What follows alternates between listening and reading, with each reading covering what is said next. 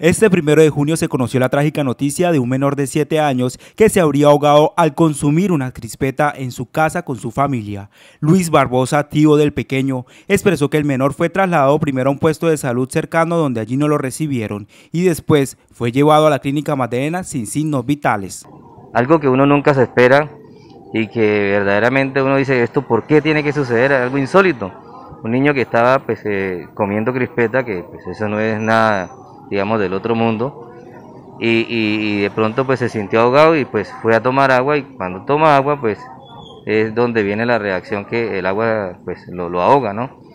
Eh, la mamá es enfermera y ella hizo todo lo que está a su alcance para hacerle eh, la reanimación, todo lo que se hace para en caso de, un ahogo de un niño.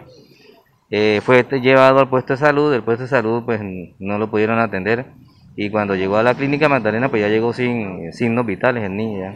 Barbosa manifestó que él se encontraba bien en el momento y de hecho compartió días antes con sus progenitores. E inclusive el domingo pasado estuvieron allá en, reunidos con la familia y, y, dice mi mamá, bueno yo creo que él se estaba despidiendo porque eso se portó, mejor dicho, eso a todo el mundo le, lo, lo, tocaba, le decía, le abrazaba a mi mamá y todo y pues eh, no sé, es algo que uno no, no se explica cómo sucede ni por qué. Su prima Lady Laura Barbosa Figueredo lo recuerda como un ángel y un ser extrovertido que le gustaba jugar con sus seres queridos. El ángel era un niño extrovertido, como todo niño le encantaba jugar. Un ser muy especial y pues como su nombre lo dice, un ángel.